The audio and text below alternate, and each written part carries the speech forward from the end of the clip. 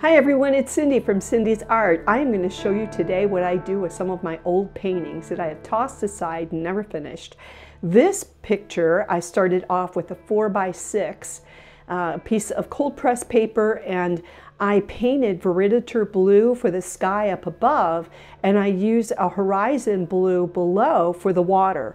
I never finished it, set it aside, felt that I split the paper up too equally. You never paint a picture with the sky that's halfway through the middle and so I thought well I'll get it out and I'll play with it. Never be afraid to try new things. So I am going to use white gouache and I'm going to paint a tree on here for the beach.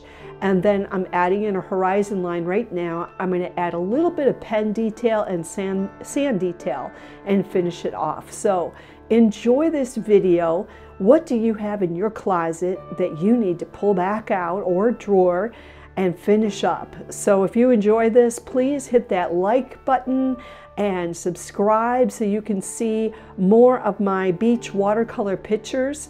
And before I let you enjoy the music, uh, this is one of three watercolor pens that I use that I can sketch in something white and I drew basically uh, the tree very roughly. Then I used white gouache to add this in. So enjoy and show me your work. Look at the description below for all of my materials and how to connect.